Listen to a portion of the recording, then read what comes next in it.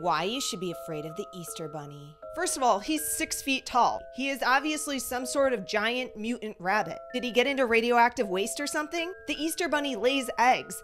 That can't be healthy. Rabbits don't lay eggs. And he breaks into your house at night and creeps around while you're sleeping. And you expect me to believe that this bizarre bunny is just leaving me treats without expecting anything in return? Like my soul? Back off, bunny, and go lay your mutant rabbit eggs elsewhere. Like, follow, and share for more strange facts.